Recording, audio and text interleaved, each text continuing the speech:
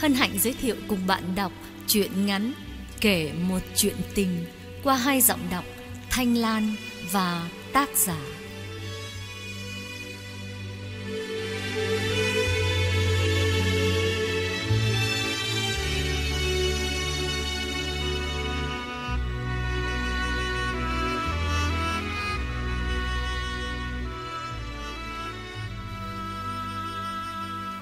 Vài chục người, đa số là phụ nữ, đứng ngồi giải rác trước trụ sở Ban Văn hóa Thông tin xã, hồi hộp chờ nghe những tin tức sốt dẻo về chiến dịch Hồ Chí Minh. Mặt trời chênh chách phía sau dãy nhà hành tránh đang chiếu những tia nắng gay gắt vào thẳng mặt đám người lam lũ ấy. Nhưng họ không quan tâm. Cả tháng nay, dân làng bàn tán xôn xao về những chiến thắng dồn dập ở miền Nam. Các cụ già vốn tính dè dặt thì thầm bảo nhau Chừa vị tất đã đúng. Cái hồi tổng công kích Tết Mậu Thân Đài chả nói mãi là Miền Nam đã hoàn toàn giải phóng đấy Rồi có thấy gì đâu Bộ đội chết như giả ấy. Bà khác tiếp lời. Thì thế thằng nhớn nhà tôi hy sinh đúng hôm mùng 2 Tết. Mãi ba năm sau mới có tin về. Những nhận xét có tính cách tiêu cực ấy Làm Hiền thấy nguôi ngoai phần nào trong lòng. Mấy tuần nay cô hoang mang vô cùng. Chẳng đêm nào cô ngủ yên giấc. Đôi mắt trũng sâu, Hai má hóp xuống, Làm cái miệng đưa ra như người hô răng bẩm sinh. Ngày ngày cô lang thang ra chợ Hoặc tạt qua nông trường sản xuất. Chỗ nào cũng nghe người ta suýt xoa, Vẽ ra viễn ảnh hòa bình Đang về rất nhanh trên cả nước. Cô sợ lắm. Hòa bình rồi thì tất nhiên bộ đội phải phục viên. Chồng cô sẽ giải ngũ về làng. Chừng đó cô sẽ ra sao? Cô sẽ giải thích thế nào về đứa con 3 tuổi cô sinh nó sau khi chồng vắng nhà đã 2 năm? Cô thường tìm gặp những bạn gái đồng cảnh ngộ để chia sẻ với nhau nỗi ưu tư về tương lai. Ngoài mặt, ai cũng cố làm ra vẻ bình thản, mạnh miệng nêu ra những nhận định có tính cách tự trấn an. Nhưng Hiền hiểu rõ, mọi người đều nát tan như mình. Lần nào trước khi chia tay, cái nụ cũng vỗ vào lưng Hiền và bảo Tin thế nào được đài? Chỉ nói láo thôi. Mười năm nữa cũng chưa thắng được miền Nam đâu. Hiền cũng hy vọng như thế Nhưng chỉ vài phút sau Nỗi lo lại ùa đến. Dân làng nhiều người gặp nàng Nhắc đến chuyện giải phóng miền Nam Như những lời khiêu khích hay chọc ghẹo. Hiền về nhà nằm võng ôm con buổi tối Nước mắt trào ra Theo lời du não nuột Sáu năm trước Hiền tiễn chân chồng ở cổng làng. Đợt tuyển quân kỳ ấy có lẽ đông nhất từ trước đến nay, Vì cần bổ sung bộ đội tổn thất sau Tết Mậu Thân. Vượt Trường Sơn đi bê là cầm bằng sinh Bắc tử Nam, Một đi không trở lại. Hiền tự coi mình như người đàn bà quá ở tuổi 22 Cô quay về sống yên ổn với bố mẹ chồng, Ôm ấp hình ảnh người đi biển biệt. Cô không tham gia đội dân quân nhưng hoạt động tích cực trong tổ phụ nữ cứu thương tại địa phương. Một năm sau, bố mẹ chồng nhập chung với đa số ông già bà cả trong làng, Dắt díu trẻ con đi sơ tán, Bỏ lại một mình Hiền trong căn nhà rộng thanh thang. Một hôm, xã ủy và ủy ban tổ chức buổi họp, Bàn kế hoạch phá bom từ trường trên sông Hạ, Vốn là nhánh sông huyết mạch của làng, Nối liền đường chuyển vận quân sự lên huyện. Có gã thanh niên đang thất tình Chán đời tự nguyện đảm nhận công tác liều mạng đó Ủy ban bố trí cuộc liên hoan tiễn chân coi như tế sống người vào cõi chết. Các cô gái làng, trong đó có cả Hiền, lần lượt phát biểu những lời tán dương, trao khăn và tặng hoa cho gã. Chiếc xuồng đậu ở bờ sông, rú ga từng chập, chạy thử vài vòng. Thợ máy lăng xăng kiểm tra lại kỹ thuật. Bom từ trường là những khối bom bọc nam châm do không lực Mỹ thả xuống lòng sông để phong tỏa đường chuyển vận quân sự của Bắc Việt. Tàu bè bằng kim loại chạy qua sẽ hút bom lên và phát nổ. Nhiều cô chẳng hiểu bom từ trường là cái gì và tại sao lại cần phải có cái thuyền máy chạy thật nhanh trên mặt sông để hút bom lên.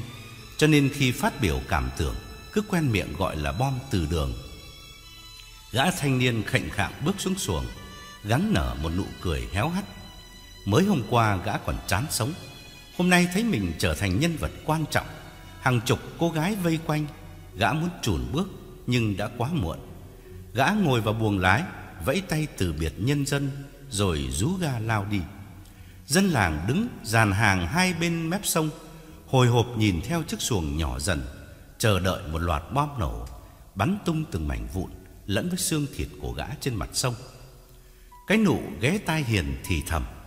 Dại Hiền nhỉ, người yêu bỏ rơi thì tìm đứa khác, tội gì phải chết.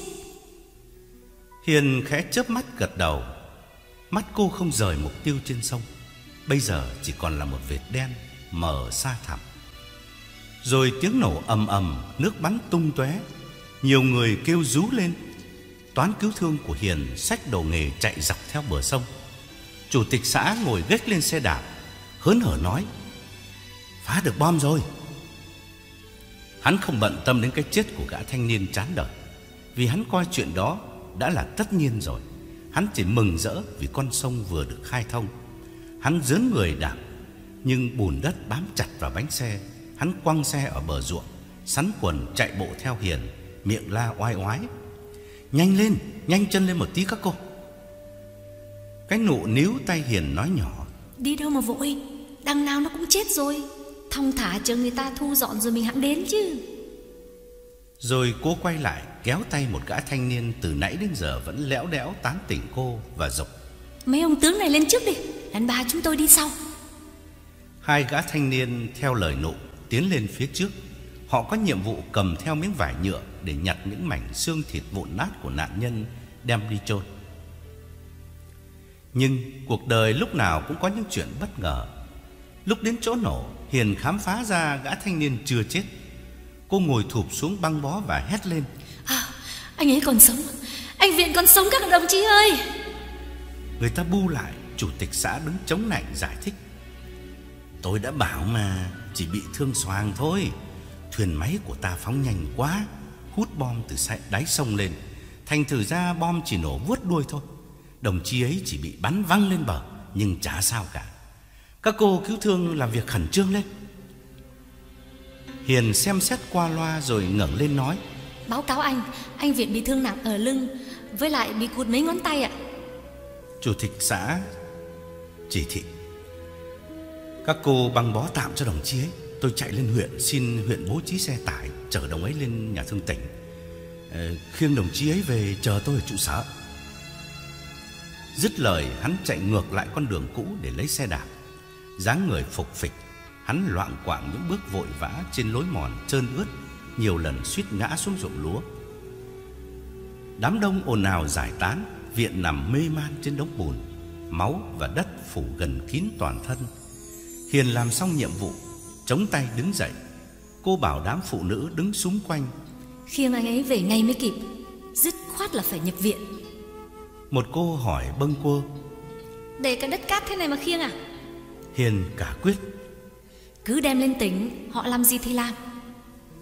Mọi người tản mát ra, dăm cái miệng cùng hò hét nhưng không biết khiêng viện bằng cách nào. Xã ủy và ủy ban không hề dự kiến là viện sẽ sống cho nên chỉ bố trí người đi nhặt xác.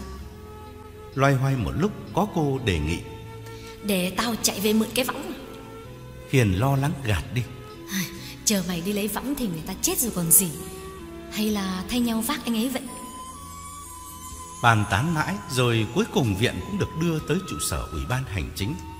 May phúc cho gã là chủ tịch huyện hôm ấy xuống công tác cho xã mượn xe đưa viện lên tỉnh. Hiền được chỉ thị đi theo viện. Cô chẳng vướng mắc gì, chồng đi bộ đội, bố mẹ chồng đi sơ tán, một mình cô đi đâu cũng được. Và lại chính Hiền cũng muốn lên tỉnh một chuyến cho biết. Bởi thế lúc chủ tịch xã bố trí công tác, cô vui vẻ nhận lời ngay. Leo lên xe, ngồi bên cạnh viện, Hiền mới sực nhớ ra một chuyện quan trọng. Cô thò đầu ra hỏi: ừ, "Thế còn tiêu chuẩn lương thực của tôi thì sao?"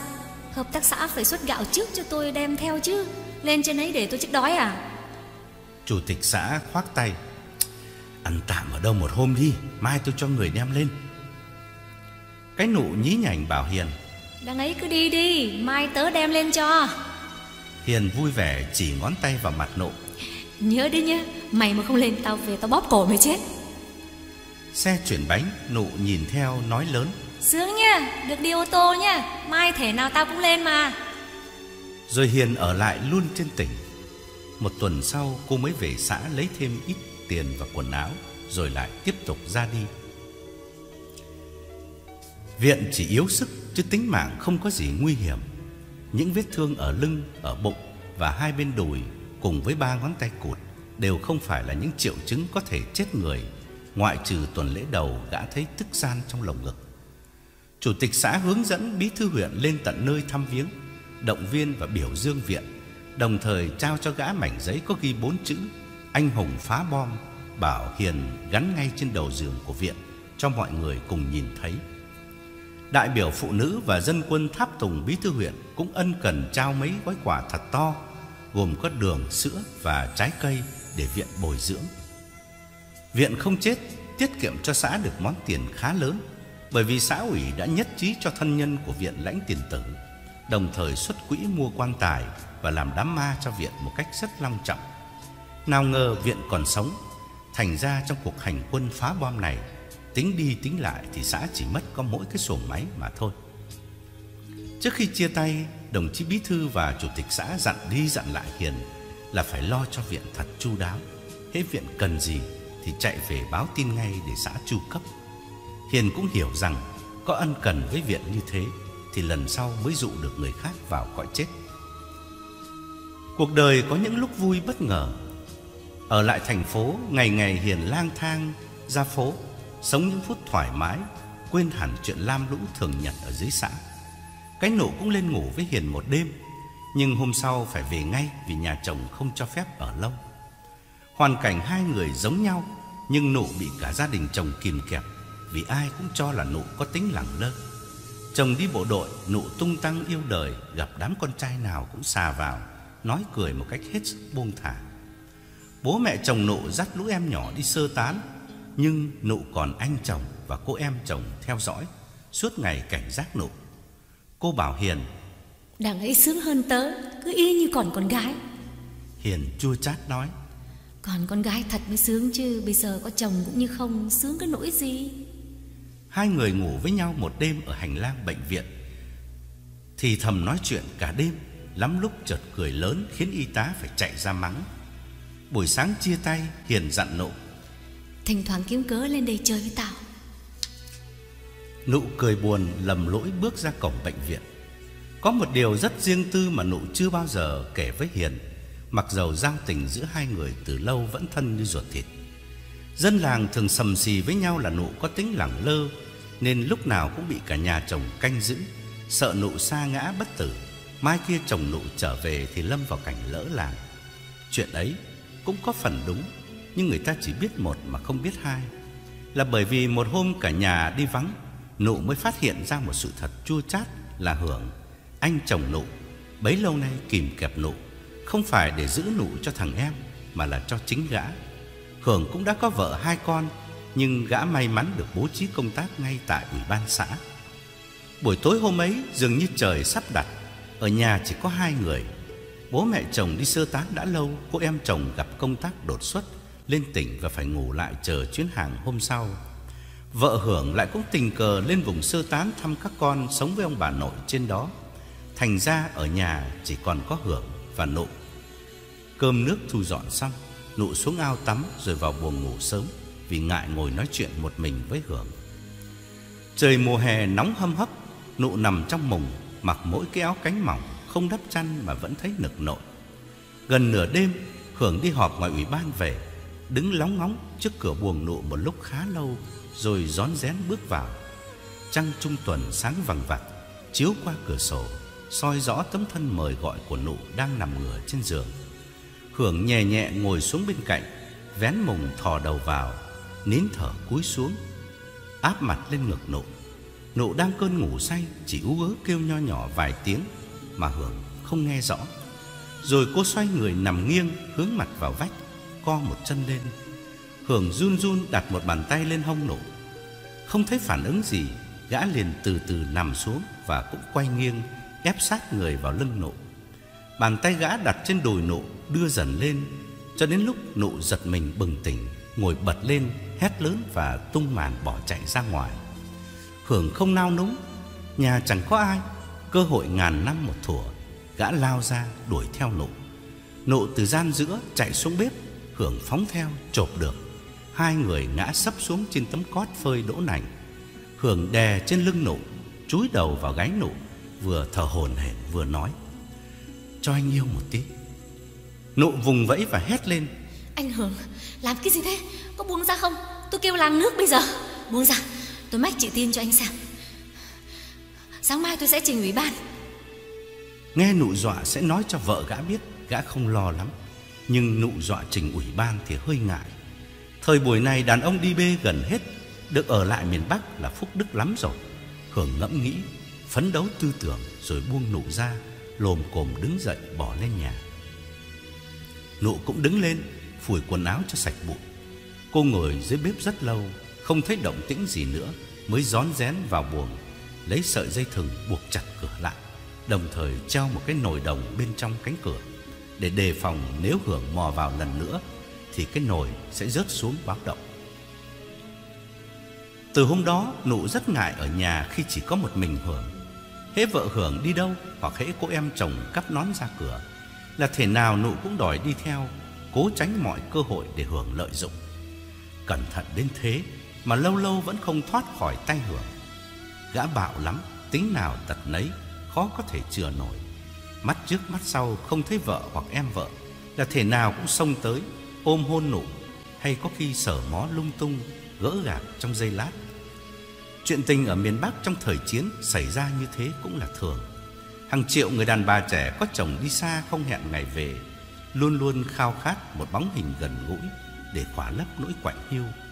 Cho nên cứ lâu lâu trong thôn xóm im lìm Lại nổ ra một vụ gian xíu với ông hàng xóm. Em chồng, anh chồng hoặc có khi cả bố chồng nữa. Nụ chỉ có tiếng mà không có miếng.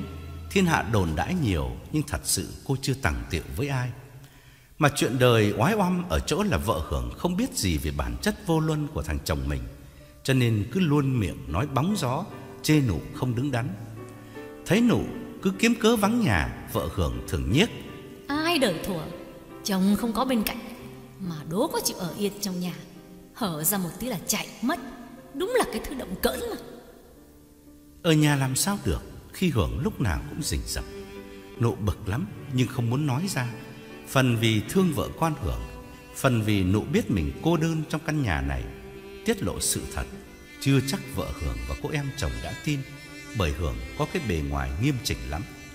Đến như Hiền là bạn thân nhất của nụ Mà Hiền cũng chả bao giờ nghĩ ra là nụ bị anh chồng ve vãn, Hoặc nếu có thì thủ phạm là nộ chứ không phải là hưởng. Nghe thiên hạ cứ nói mãi, Chính Hiền cũng dần dà tin rằng nụ có tính lẳng lơ thật. Hiền ở lại hơn 2 tháng rồi đón xe khách đưa Viện về làng. Những ngày ở bên Viện, Hiền ít chú ý tới gã, Bởi vì ánh đèn đô thị lôi cuốn chiếu Hiền nhiều hơn. Và lại, giữa đám thanh niên thành phố, Thường xuyên tán tỉnh Hiền, Cô thấy Viện chỉ là một thằng nhà quê quá tầm thường. Ngồi trên xe cô mới chăm chú nhìn Viện Gã xanh như tàu lá chuối. Mấy ngón tay cụt đã lành hẳn vết thương, Nhưng Viện vẫn băng bó cẩn thận Để khỏi phải nhìn thấy. Trong làng Viện thuộc loại thanh niên hiền lành, Ít ai chú ý. Gã thua Hiền khoảng 2 tuổi. Thuở nhỏ cũng có biết nhau khi còn học Ở trường cấp 1 Viện mồ côi cha từ năm lên 3 Hai mẹ con sống với nhau trong cảnh cơ hàn, bữa no, bữa đói. Và mới cách đây khoảng 3 năm Mẹ Viện qua đời vì bệnh ho lao Bà xuôi tay không để lại cho Viện đồng bạc nào Nhưng Viện thừa hưởng được căn nhà mái tranh vách đất Cũng tạm gọi là có chỗ nương thân Vì tứ cố vô thân nên khi Viện thất tình đâm ra liều mạng Thì chẳng có ai ngăn cản một lời Chủ tịch xã vớ được Viện Mừng hơn chúng số độc đắc Bàn ngay với đảng ủy và lập tức tổ chức lễ xuất quân để viện đi phá bom trên sông Hạ. Sợ để lâu có kẻ dèm pha, viện sẽ đổi ý.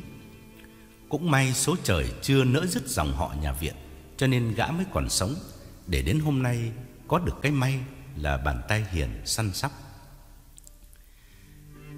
Hiền đưa viện về tận nhà rồi trao lại cho gã cái túi vải đựng mấy bộ quần áo, huy chương, giấy khen mà huyện và xã đã tưởng thưởng. Viện nằm nghỉ một tuần Rồi một buổi tối mò sang thăm Hiền. Hôm ấy Hiền vừa ăn cơm xong Rửa bát Bắt đầu một đêm dài trống vắng như thường lệ. Thấy Viện từ ngoài cổng, Hiền vội châm đèn và chạy xuống bếp đun nước. Viện đi thẳng vào bếp, Ngồi xuống bên cạnh Hiền và nhập đề. Sang để cảm ơn chị, Thật chả biết nói gì. Chị săn sóc tôi cả mấy tháng rồi. Hiền kéo khúc củi cho Viện ngồi rồi khách sáo đáp từ. Ơn nghĩa gì, Anh cứ bày vẽ. Anh cần nghỉ ngơi cho lại sức mà. Tôi có xin với ủy ban tăng khẩu phần cho anh bồi dưỡng đấy. Viện đỡ lời. Ờ, Vâng hôm kia ông chủ tịch có tạt vào thăm Cho tôi hai cân khoai với lạng đường cát. Hiệt chợt nhận ra là mình ngồi sát viện quá. Cô vội nhích ra một chút Và cầm mấy thanh củi nhét thêm vào bếp. Cô hỏi cho có chuyện. Thuốc của anh uống hết chưa? À, Có ra xin thêm ngoài y tế xã không Viện vòng tay vỗ một con muỗi ở mông rồi gật đầu. À, Có chị ạ Nhưng ban y tế hết thuốc Chờ huyện bổ sung. Ở bên viện cả mấy tháng Hiền chẳng bao giờ bận tâm. Đêm nay cô thấy viện đột ngột Đến với cô như một người xa lạ Khiến cô hơi ngượng. Cô đứng dậy và bảo ừ, Mời anh lên nhà Ai lại tiếp khách ở sau bếp này? Viện không nhúc nhích Gã ngẩng lên đáp Chị đang rửa tay Chị cứ đun nước xong đi đã rồi rồi hãng lên. Hiền đứng tần ngần vài giây rồi lại ngồi xuống Và im lặng vì chẳng biết nói gì. Ấm nước sôi lên sùng sục, Cái nắp bật tung, Trào từng mảng ra ngoài, Nhỏ xuống lớp than hồng, Khói bốc mù mịt. Hiền dập củi, Xách ấm lên nhà, Viện lẽo đéo theo sau. Hiền đặt nguyên chiếc ấm đồng trên bàn, Bỏ vào một nắm nụ vối, Rồi lại xuống bếp lục rổ bát, Mang lên hai cái cốc thủy tinh. Cô rót nước mời khách rồi nói. Mạng anh to thật. Hôm ấy chẳng ai tin là anh còn sống. Viện ờ, buồn giàu kể lể. Thật chả có cái dại nào như cái dại nào. Mấy tháng nằm viện tôi nghĩ lại mới thấy mình khờ. Cái Nhung nó bỏ tôi Nghĩ cho cùng thì có đáng tiếc gì đâu. Thế mà tự dưng tôi lại đi mua lấy cái chết. Cũng may rời thương Anh sống được là may rồi. Cả xã ơn anh lắm đấy. Nhờ anh thuyền bè mới đi lại được. Các cụ mình thường bảo ờ, Một người bắt cầu chăm họ đi qua. Không có anh thì giờ này đã ai dám chèo thuyền trên sông hả? Ủy ban định tổ chức liên hoan biểu dương anh đấy. Viện ngoẻo đầu phân trần, Khốn nỗi tôi có phá bom từ trường cho ủy ban đâu. Nói gần nói xa chẳng qua nói thật. Hôm ấy tôi chỉ muốn dọa cái Nhung là tôi định liều. Ai ngờ nó vẫn chẳng siêu lắm Thế có ác không chứ? Lúc tôi ra bờ sông Ủy ban đọc bài biểu dương tôi. Nó vỗ tay to nhất. Nó xúi tôi chết đấy chị ạ. Gã nhướng mắt nhìn Hiền Rồi bưng cốc nước đưa lên miệng. Cái cốc nóng quá. Viện lại phải đặt xuống bàn và nói tiếp. Ôi, Thong thả để tôi khỏi hẳn Rồi tôi sẽ cho nó biết tay. Hiền nhớ lại trọn vẹn màn kịch ở bờ sông Và mơ hồ cảm thấy Viện nói đúng. Buổi tiễn đưa có những ánh mắt thương hại Có những cái nhìn xúi dục bên cạnh những lời thách thức. Chính Hiền Khi nghe theo chỉ thị của ủy ban Trao chiếc khăn thêu cho Viện Cũng là một cách gián tiếp đẩy gã vào cửa tử.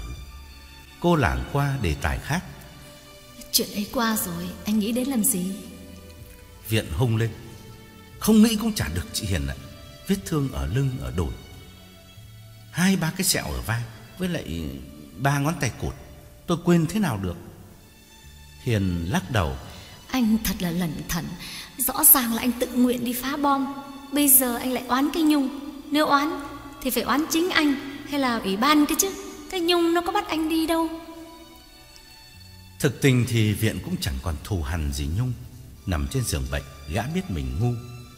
Không muốn nhìn lại Nhung nữa Nhưng gã giả vờ nói ra Chỉ để có cớ ngồi lâu với Hiền mà thôi. Gã hạ giọng bảo Hiền Vâng chị nói thế cũng phải. Thôi tôi nghe chị, Quên phứt nó đi là xong. Và lại cũng ờ, nhờ đi phá bom từ trường Mà hôm nay tôi mới có dịp được Chị săn sóc mấy tháng vừa rồi. Gã đưa mắt nhìn Hiền dò xét Nhưng Hiền không nói gì. Cô tháo cái chụp đèn, Lấy tờ giấy báo lau Lớp khói bám đen bên trong. Cô nhớ lại những lần diều viện bước đi chập chững ở bệnh viện, Những lần đỡ viện ngồi dậy để ăn cháo. Có lúc viện đã tựa sát vào người cô Bàn tay của quạng đụng chạm vào cả ngực cô. Chính lúc ấy Cô không biết là gã vô tình hay cố ý. Giờ này thì Hiền mơ hồ cảm thấy là Viện không vô tình. Hôm nay Viện sang thăm cô Chắc cũng chẳng phải chỉ để cảm ơn Xuông Cho nên cô đắn đo một chút rồi nói. Anh chưa khỏi hẳn đâu Nên đi ngủ sớm đi anh Viện ạ. Viện lờ câu nói của Hiền Gã hỏi Chị ở đây một mình vắng vẻ quá nhỉ? Lâu nay có thư từ gì của anh ấy không? Hiền buột miệng Thư thì vẫn có Nhưng biết ngày nào mới về. Viện nhân câu nói của Hiền vội bàn thêm Vâng Biết ngày nào. Làng ta từ năm 60 đến nay Hơn 10 đợt tuyển quân Có thấy tâm hơi ai quay lại đâu? Chả thế mà các cô có chồng đi bộ đội Phần nhiều đều có quan hệ tình cảm với người khác cả. Hiền nhíu mày hỏi lại. Anh bảo sao? Cô nào bà nào cũng có quan hệ tình cảm với người khác đâu. Ờ, Anh kể ra xem nào. Viện hừ một tiếng rồi cười nhạt. Chị không biết tổng trước cả tôi sao mà còn phải hỏi. Hiền trợn mắt lắc đầu. Tôi không biết thật mà. Viện uống hớp nước rồi đặt cốc Cúi người xuống như sợ Có kẻ bên ngoài rình nghe Gã nói nhỏ Đây nhé Bà Hải phó bí thư Chuyện ấy thì cả làng biết rồi. Hiền gật đầu ngắt lời Vâng chuyện ấy thì tôi biết. Viện lại kể thêm Bà Nga thì đi phá thai này Chị Vượng phải lòng ông Cư này Rồi cô Thi, cô Sắc Chị Hương Cả một tá chứ không phải là ít. Hiền tò mò hỏi thêm Nghe bảo uh, cô Sắc ngủ với uh, ông xỉu công an, Chả biết có đúng không? Viện nhấn mạnh, Đúng cái gì nữa mà đúng. Công khai ở với nhau, Ông xỉu đưa lên tận nhà thương tỉnh phá thai mà lại Hiền im lặng ngó ra sân. Mắt cô bâng khuâng nghĩ ngợi, Viện hạ giọng tiếp. Cũng chả trách họ được, Chồng đi biển biệt biết ngày nào về. Mà về thế quái nào được, Chín phần chết, một phần sống. Hiền chống chế anh cứ nói thế. Anh mới là Mười phần chết cả mười Thế mà vẫn sống. Rồi Hiền bất ngờ hỏi lại đề tài cũ. Mà sao anh biết được? Hả anh Viện. Viện nói Chả giấu gì chị Cái Nhung nó kể cho tôi. Còn đĩ chả có cái việc gì mà nó không thông. Câu chuyện bỗng trở nên hấp dẫn. Mới lúc nãy Hiền còn muốn đuổi Viện về Bây giờ lại hiếu kỳ hỏi tới. Nó kể cho anh nghe những chuyện gì thế? Viện khoan khoái ngồi lại Vừa uống trà vừa tỉ mỉ thêm bớt những điều mà thực tình Gã chỉ biết loáng thoáng. Nói xấu người khác bao giờ cũng là đề tài lôi cuốn phụ nữ Nhất là khi những người bị nói xấu đó lại là bạn mình. Chen vào câu chuyện Viện luôn luôn bày tỏ sự rộng lượng Không lên án những người đàn bà xa chồng khát khao tình cảm. Cũng giống như mọi nơi khác Làng này đang lâm vào tình trạng khan hiếm đàn ông một cách khủng khiếp.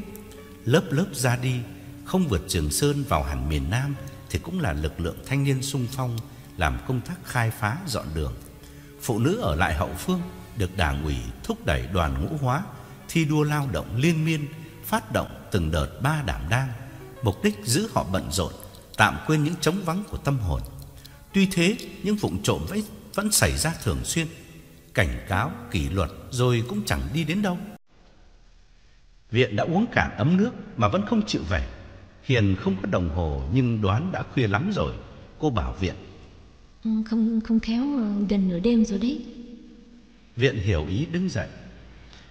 Vâng, tôi tôi xin cứu chị. Hiền tiễn ra cửa và dặn. Anh nhớ bồi dưỡng cho lại sức nhé. Viện bước xuống thềm ngoái cổ lại cười tôi khỏe hẳn rồi. Ờ, thôi tôi về nhé, thư thả rồi tôi lại ờ, ghé thăm chị.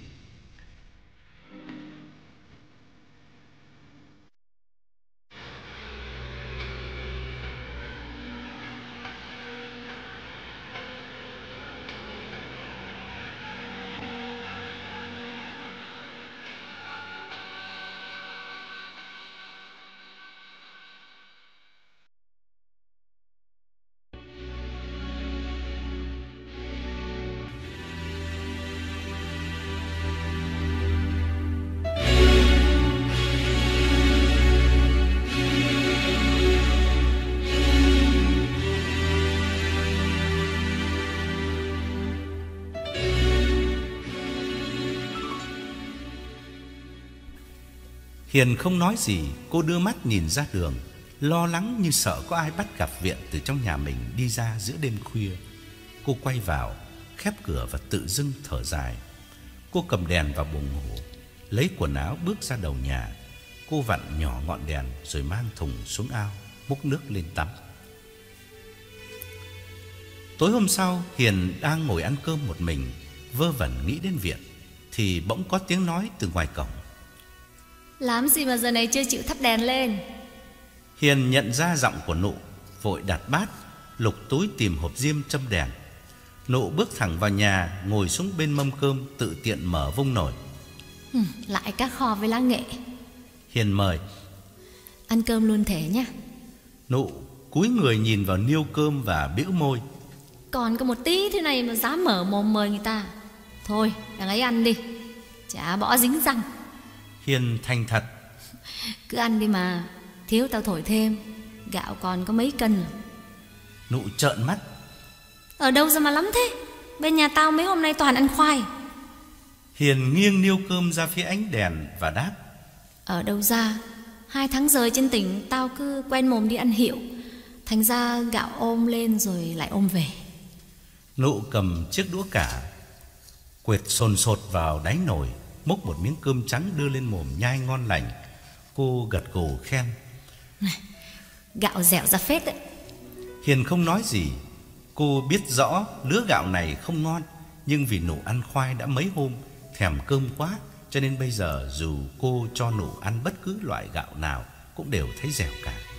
Nụ tiếp tục vét nồi. Hiền hiểu ý đứng dậy Ngồi đấy. Để tao thổi cho một bát Cái con khỉ này. Thế mà cứ làm khách. Nụ vội quăng đũa Níu tay Hiền lại và bảo Đừng Tao đâu có đói mày. Buồn mồm thì ăn một miếng thôi à. Rồi nụ nhanh nhẹn thu dọn bát đũa Bưng ra sàn nước bên hông nhà. Hiền cầm đèn đi theo.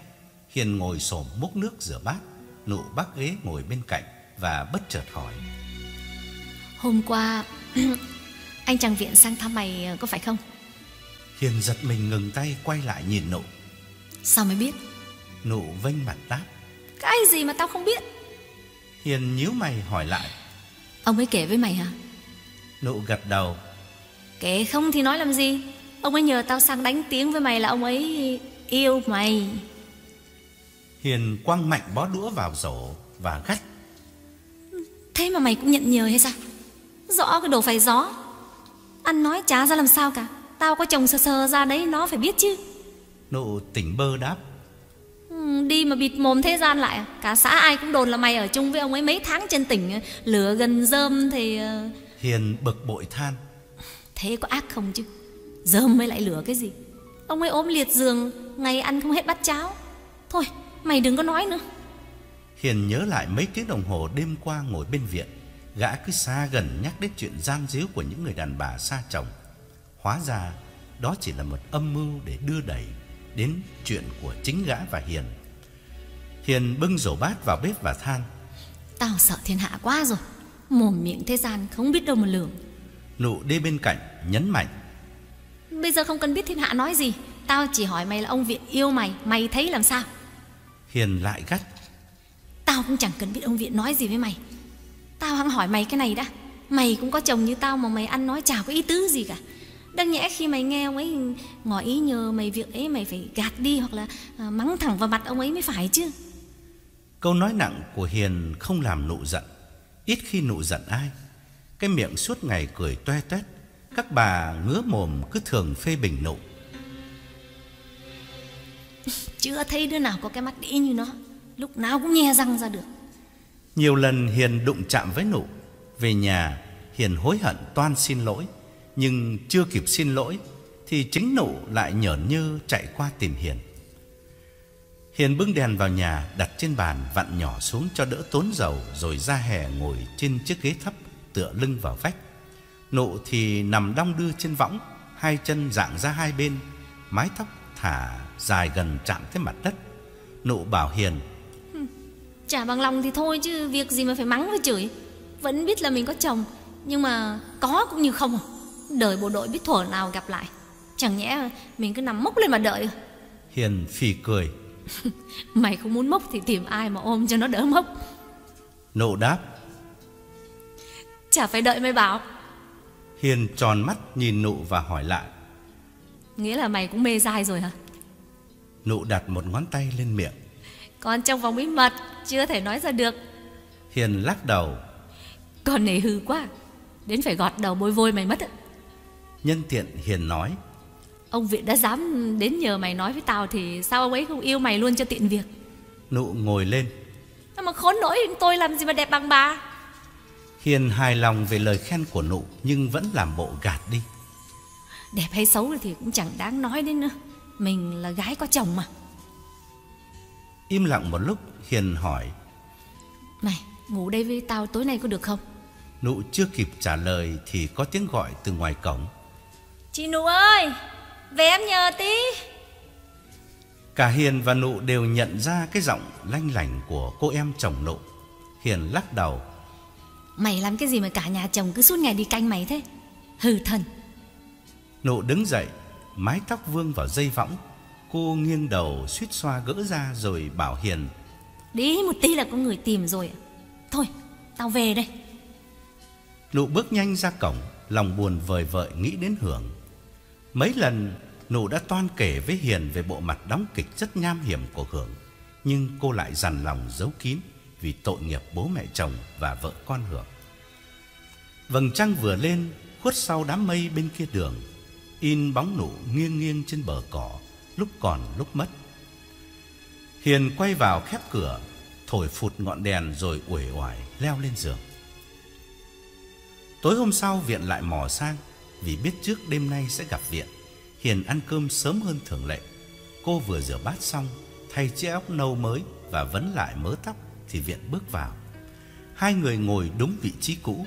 Viện chào hỏi qua loa Rồi run run nhập đề. Chắc chị đã hiểu lầm tôi. Hiền nhìn Viện lắc đầu. Anh quẫn trí rồi anh Viện ơi. Tôi đã có gia đình. Viện tha thiết Vẫn biết thế Nhưng mà gần gũi chị mấy tháng rời trên nhà thương Tôi. Hiền xua tay ngắt lời. Không được đâu Anh đi về đi. Đối với Viện Bộ đội lên đường đi bê Thì kể như đã ra người thiên cổ Cho nên gã điềm nhiên coi Hiền vẫn còn độc thân. Và lại trong ánh mắt của Hiền Viện nhận ra những lời chống đối rất yếu ớt Chỉ hoàn toàn là một thủ tục tự nhiên mà thôi. Gã không bỏ cuộc Bàn tay trái cụt ba ngón gã để trên đùi Bàn tay phải lành lặn đưa ra Nắm lấy tay Hiền. Hiền vội giằng lại và lo lắng nhìn ra cửa. Chết Anh đừng làm thế. Hiền thốt nhớ đến nụ Và hơn lúc nào hết Mong nụ qua thăm Để gỡ rối giây phút lúng túng này. Cô đứng dậy và nói à, Quên Để tôi đun nước anh uống. Cô nói thế nhưng thực sự cô đã đun sẵn từ trước khi viện qua Cô chỉ quên chưa rót ra cốc mời viện Nhưng viện gạt đi. Nước nôi gì? Vừa nói gã vừa đi vòng sang phía Hiền Bất chợt quàng cánh tay ôm lấy lưng Hiền Và kéo sát người Hiền chạm vào ngực gã. Hiền vội đẩy gã ra Giọng nói hồn hển mất hết cả bình tĩnh. Anh đi về đi. Anh đi về đi tôi sợ lắm. Viện đứng ngây người nhìn Hiền một lúc Rồi bước ra cửa Về thật Hiền bàng hoàng ngồi xuống ghế, ngẩng đầu nhìn theo. Cái lối tỏ tình rất nhanh, Rất thẳng thắn của Viện. Hiền thấy toát ra một sức mạnh nồng nàn Và cô tự hỏi không biết Tại sao con bé Nhung lại bỏ Viện Để Viện phải tự đi tìm cái chết. Hôm sau, Viện lại đến Và cứ thế ngày này sang ngày khác Cho đến lúc Hiền siêu lòng Nằm gọn trong cánh tay cụt ba ngón của gã. Cũng chính cái đêm Viện nằm với Hiền lần đầu tiên ở nhà Hiền, lúc trở về thì thấy chủ tịch xã đã chờ sẵn ở ngoài sân. Viện giật mình khựng lại ngoài cổng, đứng nhìn vào một lúc, vuốt lại mái tóc và quần áo, rồi mới thùng thẳng tiến vô. Chủ tịch đứng bật dậy, đon đả bước ra. Đi đâu mà về muộn thế? Mình đợi mãi. Viện xã giao. Anh ạ, anh anh tìm em có việc gì không ạ? Chủ tịch khoác vai viện thân mật đáp. Việc gì nhớ cậu thì lại thăm đấy thôi. Hai người ngồi ngay ở bậc cửa. Viện đòi vào nhà thắp đèn nhưng chủ tịch xã xùy xòa gạt đi. Đèn đuốc làm gì? Khách khứa gì đâu mà cậu bày vẽ. Rồi gã thở mạnh chuyển sang giọng chính trị. Này Viện ạ, xã ủy và ủy ban cứ nhắc mình mãi là thỉnh thoảng phải thu xếp thì giờ đến thăm cậu. Xem cậu có cần gì ạ thì báo cáo ngay để ủy ban biết. Chả gì thì cậu cũng là anh hùng của xã. Nói cho ngay thì của cả huyện chứ chả phải riêng cái xã này. Không có cậu phá bom từ trường thì kể như khúc sông Hạ từ đây ăn thông lên huyện là khúc sông chết, khúc sông của địch, của Mỹ Ngụy. Thành ra huyện đã chỉ thị các xã đều phải học tập gương anh hùng của cậu. Ủy ban cứ nhất định tổ chức buổi liên hoan biểu dương cậu mà cậu biết đấy. Trăm công nghìn việc vừa đánh giặc vừa sản xuất, không hở tay được một buổi. Chủ tịch xã ngừng nói, móc gói thuốc rút ra một điếu mời viện. Viện gắn điếu thuốc lên môi, thản nhiên chờ đồng chí chủ tịch bật diêm cho mình. Lòng gã đã hết xúc động trước những lời tân bốc được lặp đi lặp lại rất nhiều lần từ hôm dại dột chơi nổi. Gã rít thuốc, lim dim nghĩ đến Hiền, nhớ lại cuộc truy hoan ngắn ngủi vừa mới diễn ra trên chiếc chõng tre nhà Hiền mà toàn thân gã còn đang ngây ngất men tỉnh. Đồng chí chủ tịch tiếp lời. Khổ nỗi là thế này. Mình đã giải thích mãi với nhân dân là bom từ trường đã nổ hết rồi. Chiếc xuồng của cậu chạy ngang một lượt là kéo hết bom lên. Không còn sót một quả nào dưới dưới đáy sông nữa. Thế nhưng mà người ta vẫn cứ sợ. Họ đồn nhau là thể nào cũng còn sót vài quả dưới ấy. Thành ra thuyền bè vẫn không dám đi lại. Chủ tịch lại ngừng nói, liếc mắt nhìn viện chờ đợi. Nhưng viện bây giờ không còn phải là thằng viện thất tình cách đây mấy tháng nữa. Gã không ngu nữa, lại càng không dại dột vì vừa chiếm được hiền. Gã hững hờ nói: "Thì họ lo xa như thế cũng phải, còn bom hay không, đố mà ai mà biết được." Chủ tịch gãi đầu. "Mình định thế này, mình sẽ tổ chức một buổi lễ thật lớn ở bờ sông. Ai có thuyền bè đều kéo ra hết. Cậu lái chiếc xuồng của xã đi đầu. Cứ xem như là một cuộc hành quân tiến ra mặt trận sản xuất. Mình đã hội ý với xã ủy và ủy ban. Ai cũng nhất trí và đề cử mình đến để trao đổi với cậu. Viện tái mặt, quăng điếu thuốc xuống chân, dùng gót di nát trên mặt đất. Gã hoảng hốt kêu lên. Không không được đâu anh ạ, không được, tôi tôi còn đuối sức lắm. Và lại bây giờ chỉ còn có mỗi một tay xoay trở thế nào được. Vết thương ở đùi tôi đã lành hẳn đâu. Ngực thì vẫn tức như có người đè. Anh anh tìm người khác vậy. Chủ tịch xã biết viện đã thoái chí, Nhưng hắn không bỏ cuộc. Dụ dỗ người ta vào cõi chết là nghề của hắn. Hắn kêu lên, Chết mình lỡ mồm tiết lộ với tất cả mọi người rồi. Bên dân quân định liên hoan lớn để biểu dương cậu, Nhất là tổ phụ nữ. Mấy cô ở bên ấy cứ nhao nhao đòi tranh nhau tặng hoa cho cậu. Cậu không nhận nhời thì tôi biết ăn nói thế nào với người ta. Cái liễu ấy, cái liễu nó bảo là là tự tay nó sẽ thêu hai cái khăn tay để để tặng cậu đấy.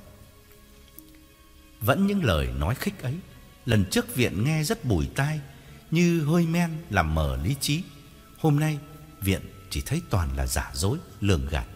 Gã cả quyết lắc đầu. Ừ, báo cáo anh xã ta thiếu gì người anh? Không nhẽ việc gì cũng phải gọi đến tôi. Và lại khúc sông ấy là trục lộ quân sự Chỉ toàn tàu chiến sử dụng mà thôi. Sao không nhờ du kích hoặc dân quân? Chủ tịch nhấn mạnh Bom thì làm gì còn nữa. Một lần xuồng cậu chạy ngang là hút sạch rồi. Cậu thấy một cục nam châm thật là bé Mà còn hút được bao nhiêu là sắt. Huống hồ cả một khói bom, bom bằng nam châm. Hết sạch rồi có điều là người ta nhát, Không dám thử. Thành ra tôi mới nhờ cậu đi tiên phong. Viện bắt đầu bực mình. Nếu đã quả quyết là không còn bom nữa, Thì tại sao chính chủ tịch xã không dám dẫn đầu đoàn thuyền Hoặc đề cử bất cứ ai trong ủy ban chẳng được? Rõ ràng là Chủ tịch xã cứ muốn viện phải làm liệt sĩ. Người khôn là người chỉ dạy một lần, Viện không thể ngu lần thứ hai. Thà rằng chết ngay trên giường của Hiền vì bệnh thượng mã phong còn hơn là nghe lời suối dại mà làm liệt sĩ. Viện nắm tay dứt khoát. Tôi chịu thôi anh ạ. Chủ tịch xã ê chề lắm, miệng đắng chát, mắt chớp mau như sắp khóc. Nhưng gã vẫn gắng nở nụ cười chính trị vỗ vai viện. Thì mình cũng đề nghị thế thôi. Ừ, cậu nghĩ kỹ đi rồi rồi mình bàn lại Hắn phổi đít đứng dậy à, Thôi mình về nhé Ngủ đi, ngủ đi cho khỏe Đi được mấy bước, hắn quay lại vỗ bồm bột vào chán và than. Thật là lú gan, lú ruột. Định hỏi cậu cái này mà cứ quên mãi. Thế nhà còn gạo trắng không? Hết thì nhắc mình một tiếng. Mình sẽ bảo hợp tác xã mang lại. Với lại ờ, đường cát nữa. Viện ngắt lời. Vâng cảm ơn anh. Khi nào cần thì tôi tôi sẽ xin anh. Chủ tịch xã lặp lại. Ừ Cần thì bảo mình một tiếng nhé. Gã bắt tay Viện và bước nhanh ra cổng. Viện thở dài đứng dậy. Đã quyết chí không để chủ tịch xã dụ dỗ Mà lòng Viện vẫn bứt rứt Vì vừa làm hắn thất vọng. Viện bước hẳn vào nhà toan thắp đèn Nhưng lại đổi ý quay ra sân, Đi lại phía gốc cao đầu nhà, Chỗ đặt cái lu sành đựng nước tiểu để tưới cây. Một cơn gió ùa đến bất ngờ, Mùi hoa bưởi trong vườn lướt qua thơm ngát. Viện nghĩ đến Hiền và đoán chắc giờ này Hiền cũng đang thao thức nhớ đến gã. Đã toan vào nhà ngủ. Viện đứng lưỡng lự trên thềm một lúc rồi quyết định sang gặp Hiền. Về phần Hiền, quả đúng như Viện đoán, nàng vừa bước sang một khúc rẽ quan trọng trong cuộc đời. Hơn ba năm xa chồng, chưa một lần xa ngã. Hôm nay nàng yếu lòng lao vào cuộc tình bất chính, mà nàng biết sẽ không dừng lại được nữa. Viện về rồi, nàng thẫn thờ ngồi một mình bên ngọn đèn dầu leo lét, Lòng tràn ngập nỗi vui, buồn, lẫn lộn.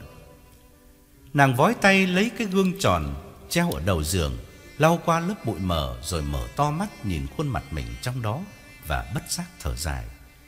Chỉ còn vài năm nữa, Hiền sẽ bước vào cái tuổi đã toan về già, Mà chinh chiến thì chẳng biết đến ngày nào mới dứt, Chồng nàng chẳng biết đến bao giờ mới trở về. Nàng treo cái gương lại chỗ cũ, Đứng dậy lấy quần áo xuống ao, Theo thói quen trước khi đi ngủ. Hiền lên giường, vói tay vặn Nhỏ ngọn đèn dầu xuống Và buông mùng nằm, Nghĩ đến viện, Nhưng vừa nhắm mắt lại Thì nghe tiếng bước chân ngoài hiên, Rồi tiếng gọi cửa Cất lên nho nhỏ. Hiền ơi, Ngủ chưa? Anh đây, viện đây. Mở cửa cho anh vào với. Hiền vừa mừng vừa sợ lật đật chạy ra tháo then cài cửa và khẽ gắt. Ồ hay, khuya khoắt thế này mà còn mò sang đây làm gì?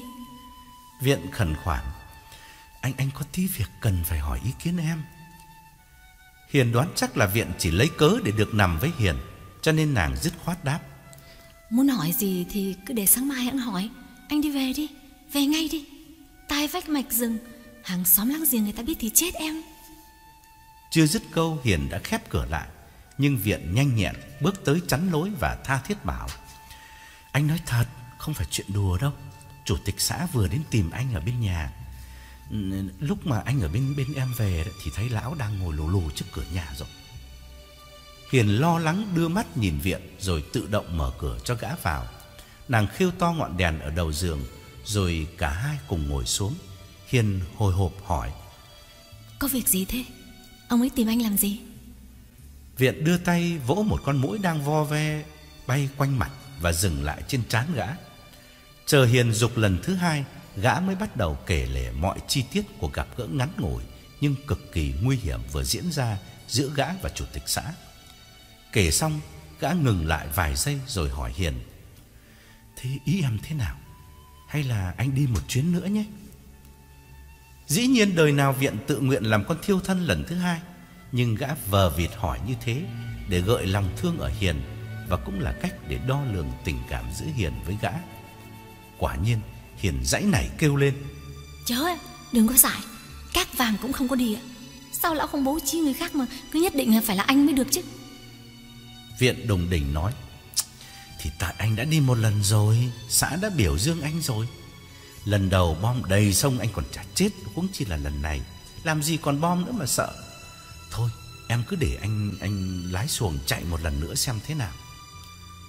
Hiền nắm chặt cánh tay viện, Lắc đầu lia lịa và gắt lên. Đã bảo là không mà. Đứa nào nó muốn xã biểu dương Thì cứ để cho nó tự nguyện lái thuyền đi đầu. Anh đừng có dại. Chỉ tổ cho người ta lợi dụng mà. Báu gì cái giấy biểu dương Được tiếng khen, Ho hen chẳng còn. Vừa nói chuyện, Viện vừa vỗ mũi liên tục, Rồi gã đột ngột đổi đề tài một cách rất tự nhiên Và bảo Hiền. Mũi quá, Vào mùng nằm nói chuyện tốt hơn. Ngồi ngoài này mũi đốt chết. Dứt lời, gã thản nhiên chui vào Và nắm cánh tay Hiền lôi vô. Hiền nằm nghiêng, áp má vào ngực viện Và nghiêm khắc nhắc lại chỉ thị của nàng. Em nói rồi đấy. Dứt khoát là đừng có nghe lời lão. Lão nói gì cũng chớ có nghe. Phá bom là công tác tự nguyện mà. Anh không nhận lời thì thôi, Chứ lão làm gì được anh đâu. Viện đặt bàn tay lên lưng Hiền, Xoa nhẹ nhẹ. Hai người cứ tỉ tê tâm sự mãi như thế Cho đến quá nửa đêm. Hiền không hề dục gã về, Mà chính gã dĩ nhiên cũng chẳng nghĩ đến việc bỏ về nằm hưu quạnh một mình Trong căn nhà vắng. Đó là lần đầu tiên hai người ngủ với nhau suốt cả đêm. Và khi đã ngủ với nhau một đêm rồi thì bao nhiêu đêm sau cứ tiếp tục diễn ra Mà cả hai, chẳng ai còn bận tâm đặt câu hỏi Là việc làm này đúng hay sai nữa. Chủ tịch xã còn trở lại thuyết phục viện hai ba lần nữa, Dẫn theo cả đồng chí bí thư Để đồng thanh suối viện lao vào cõi chết, Nhưng viện không nao núng Bởi đã có Hiền thường xuyên thủ thị bên cạnh. Nửa năm sau, Hiền có bầu. Chủ tịch xã nhớ mối thù xưa, Bẽ bàng vì không dụ dỗ được viện. Nhân cơ hội này lôi hai người ra phê bình rất nghiêm khắc Và bắt viết tự kiểm. Thậm chí còn suối Hiền phá thai. Nhưng Hiền nhất định không nghe. Một phần vì nàng sợ chết, Một phần vì nàng thấy mình cũng đã lớn tuổi, Muốn sinh đứa con đầu lòng Và công khai sống luôn với viện. Chiến tranh có mặt từ khi Hiền mới có trí khôn. Kéo dài đến hôm nay, với nhịp độ cứ mỗi ngày một khốc liệt hơn không có hy vọng gì sẽ kết thúc. Chồng Hiền ra đi kể như đã xong một kiếp người, Còn đợi làm chi nữa. Chủ tịch xã ức quá lôi viện ra xỉ vả Và gọi viện bằng mày. Rõ thật là đẹp mặt, Anh hùng của cả xã, cả huyện mà đổ đốt ra như thế. Thiếu gì con gái không lấy, lại lấy vợ của bộ đội. Mày đúng là cái đồ mặt trơ chán bóng. Rồi gã bắt viện phải trả lại ngay tờ giấy biểu dương Mà bí thư huyện đã đem lên tận nhà thương tỉnh trao cho viện. Đồng thời tiếp tục đi lùng kiếm một vị anh hùng khác Để phá bom từ trường, Bởi tàu bè vẫn chưa dám đi lại trên sông Hạ Sau hòa đàm ba lê, Bố mẹ chồng Hiền từ vùng sơ tán trở về, Vừa đúng lúc Hiền sinh đứa con đầu lòng với Viện. Khôn ba năm dại một giờ, Hiền chịu không nổi sự đay nghiến thường trực, Bế con sang ở hẳn với Viện. Thư của chồng nàng từ miền Nam Gửi ra vẫn đều đặn một năm một lần, Nội dung hoàn toàn giống nhau, Báo tin chiến thắng ở tiền tuyến Và động viên Hiền tích cực sản xuất nuôi chiến trường. Ba năm bên viện là ba năm thấp thỏm, Mong cho cuộc chiến kéo dài bất tận. Hôm nay thì nỗi lo âu của Hiền đang trở thành sự thật. Cái nộ hớt hải chạy sang báo tin cách mạng đã toàn thắng ở miền Nam. Tổng thống Dương Văn Minh đã đầu hàng Hiền đang cho con ăn cơm Hốt hoảng quăng cả bát đũa Kéo nụ ra sân hỏi lại. Thật không? Ai bảo mày thế? Nụ gắt. Đài nói oang oang cả tuần nay mày biết à? Hiền băn khoăn. Đài thì đã chắc gì nói thật. Nụ giật tay Hiền nhấn mạnh. Lần này thật mà Đài phát luôn cả lời đầu hàng của Tổng thống miền Nam cơ mà. Hiền ngồi thụp xuống bậc cửa Mắt chớp mau như sắp khóc. Cô ngẩng lên nhìn nụ và tủi thân Vì cái con bạn lẳng lơ của mình cuối cùng lại may mắn hơn cô. Nụ nổi tiếng lang trả Nghe đồn nó ngủ với cả anh chồng Thế mà chẳng hiểu tại sao không có bầu. Nụ kéo tay Hiền nói Đi ra ban thông tin với tao. Hiền lưỡng lự một lúc rồi bế con ra sau nhà Trao cho viện và theo nụ cắp nón ra đi Khu sân nhỏ trước ban thông tin từ mấy hôm nay lúc nào cũng chật người ngồi nghe. Chiếc đài hai băng chạy bằng điện bán dẫn, Được khiêng hẳn ra hè, Kê trên chiếc ghế đọc. Nụ và Hiền đứng xa xa, Sát bờ giao thông hảo, Mặt mũi đăm chiêu chờ đợi. Những bản hùng ca, Những lời hò hét đao to búa lớn đầy kênh kiệu, Thay nhau tuôn ra từ chiếc radio cũ kỹ, Đang dán mở hết âm lượng. Rồi bản tin miền Nam đầu hàng Được nhắc đi nhắc lại một cách sắc sược. Hiền thở dài Kéo tay nụ ra về. Dọc đường Hiền buột miệng than. Không thể ngờ được. Nụ nhìn Hiền thông cảm. Mày được thư ông ấy lâu chưa? Hiền hững hở đáp. Mới hôm Tết? Nụ dè dặt nói. Điều này thì chỉ dăm tháng nữa là, là các ông ấy về thôi. Phiền thật đấy Hiền chép miệng. Mày thì có gì mà phiền Tao mới khổ đấy chứ. Nụ nói như để an ủi Hiền. Miệng thế gian mà mày Giấu được ai? Thế nào Dũng đến tai chồng tao à? Mấy cái con mẹ ngoài chợ có tật ngứa mồm. Thế nào nó cũng nói này nói kia. Hai người kéo nhau đi tìm vài ba. Bà cùng cảnh ngộ Để có thêm đồng minh than thở với nhau. Bà nào mặt cũng xanh mét như bị hậu sản ở nhà viện cũng ưu tư không kém. Gã oán đế quốc Mỹ mạnh như thế mà lại để thua trận ở miền Nam. Nay mai thằng chồng bộ đội của Hiền trở về, Chắc chắn gã sẽ khó sống. Trong một phút lo nghĩ thái quá, Gã chợt thấy tiếc đã không chết ngay trên sông Hạ ngày ấy, Để được cả xã xây đài liệt sĩ.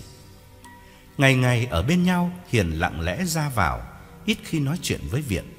Gã cũng hiểu tâm trạng vợ, Chỉ thở dài thông cảm. Ban đêm Hiền thường bế con ra võng nằm ngủ, Bỏ mặc Viện chăn trở một mình Trên chiếc chõng tre trong phòng. Ba tháng sau, Bộ đội bắt đầu lác đác về làng. Phục viên giải ngũ chuyển ngành thương binh. Dân làng xôn xao thăm hỏi, Giải rác trong xóm, Tiếng cười, tiếng khóc lâu lâu lại vang lên. Cứ mỗi người trở về là lại thêm một mối lo cho Hiền. Nàng thấp thỏm chờ đợi đến phiên mình. Sắp phải đối diện với sự thật bẽ bàng Khi chồng nàng trở về. Cho đến một hôm Hiền đang ngồi ủ rũ Nối lại cái võng rách ở đầu nhà Thì nụ hớn hở chạy sang La oang oang từ ngoài sân. Hiền ơi mày đã biết tin gì chưa? Hiền giật mình ngẩng lên hồi hộp hỏi lại. Tin gì? Chồng mày về hả? Nụ ngồi xuống giật cái võng trong tay Hiền Quăng sang một bên và nghiêm mặt đáp. Chồng tao thì nói làm gì Chồng mày ấy chứ. Báo để mày mừng. Cái thằng chồng mày nó chết rồi. Hiền đặt bàn tay lên ngực Chố mắt nhìn nụ. Viện đang cho gà ăn ở ngoài sân Cũng giật mình ngừng tay Mon men tiến lại gần. Hiền sừng sốt hỏi lại.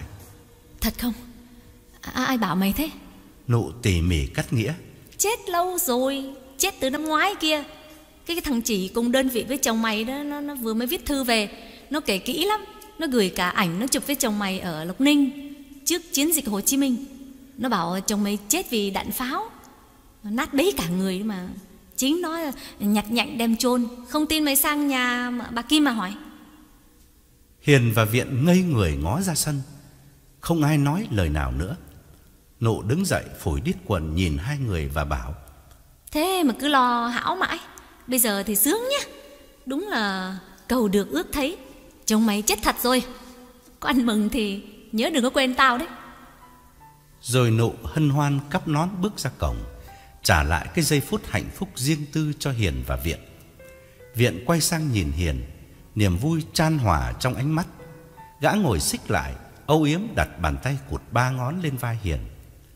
Trước mặt hai người, Đàn gà đang díu dít mổ thức ăn trên khoảng sân dập bóng mát. Hiền cũng thở phào nhẹ nhõm vì vừa gỡ được gánh nặng ngàn cân đè nặng trên ngực từ mấy tháng nay. Nàng ngó ra sân và chợt nảy ra ý định sẽ thịt một con gà mái tơ, nấu vài món đặc biệt để ăn mừng bản tin chồng nàng đã thực sự trở thành liệt sĩ. Thank you.